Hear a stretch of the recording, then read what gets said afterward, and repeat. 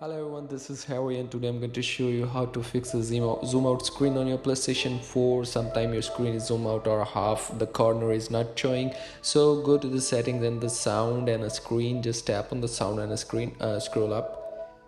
Here is just wait and scroll down. Here's the sound and screen and here you have the display area settings.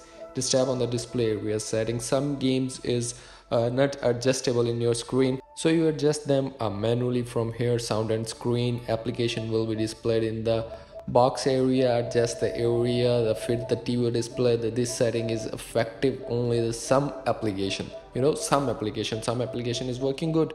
Uh, so here is you just tap uh, enter and then you go back.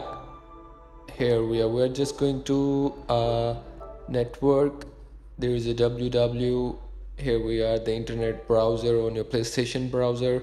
Just tap on the internet playstation browser. Here we are.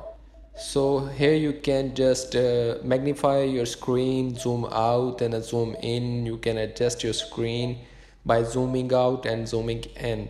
Uh, magnify. Here is a hundred percent is adjust your screen but here you have 110 125 it will be zoom in. And if you want to zoom out then go to the 100 and zoom in to go to 500 uh, that's how that's how you can just zoom in and zoom out and set a display layout on your screen on your playstation 4 on your tv screen. So that's how you can fix this error. And if you have any question then ask me in the comment box see you soon for the next one